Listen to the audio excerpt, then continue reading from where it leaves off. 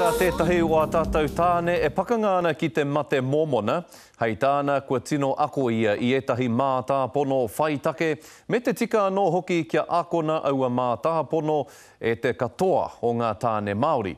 Kei a tahuri tūmoana tēnei pūrongo hirahira mōna.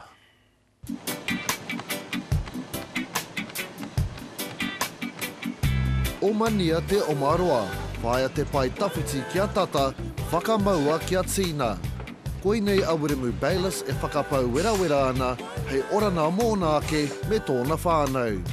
My own little hikoi began a year ago. Things at home weren't great.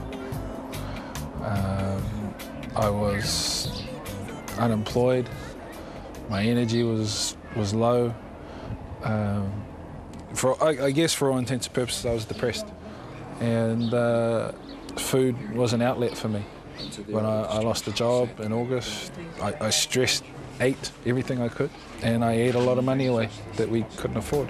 I huri te ao o Urimu i tana tūpono atu ki te kaupapa a Whāmek e kia nei, he manawa tahi, poi ora tini.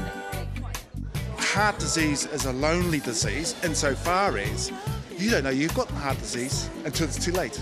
People need people like Wiremu. So his one heart has an impact upon the many lives around him. The good thing about Wiremu, he's big in stature, but he's also very big in actually wanting to help people. So one of the really good things about Wiremu is his ability to manaki another person. But he does it in a way that's, you know, empowering You know, we, we get thrashed with stats how, as Māori Pacific, that um, we're going to die early because of obesity, smoking, cardiac disease. It's all like a, a big umbrella. Ko Harley Thompson te whakahihiri tana o Wiremu. Mā nā hui hui nā pēnei a Try Māori e whakahau ai rātou i tō rātou kaha ki te hikoi tonu i te ara o he manawa kotahi, he manawa tīna. You know, I just told them the truth, really. I just said, it's not going to be easy. It's going to be lots of mahi. You're going to have lots of doubts. And keep away from those infomercials. It's not like I'm looking at a TV commercial where this wafer thin person is trying to sell an exercise thing. I mean, this is this real person. I was able to talk openly and deeply because he knew exactly what I was going through because he had experienced it. As Māori, a lot of times we think of our, we think of our whānau first. And, uh, but the guts of it is, if we don't sort ourselves out, we're not going to be around for the whānau. Ain't about how fast I get there. Ain't about what's waiting on the other side. For me, it is the journey. And, and Tri Māori here was, was, was, was just is another step in that journey. If you had told me I would have done Tri Māori a year ago, I probably would have laughed my head off. If you had put Tri Māori with the other events like Taupua, Rotorua, Whangamata, and I Māori to come, I would have probably just rolled over and laughed at you harder. But it's, it's, it's, it's been awesome. The, the weight loss has been up and down.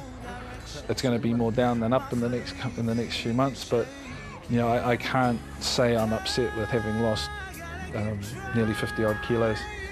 Um, plenty more to go. It, that's that's the challenge.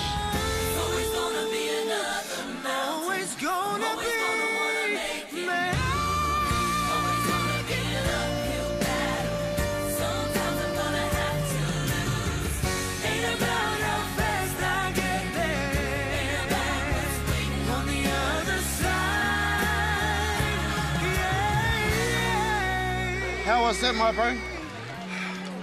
Awesome. Awesome. stuff. We nearly reached the super awesome. Even everybody else on the on the thing, we weren't competing. We were just we were there participating with each other. You guys inspired me. So, thank you.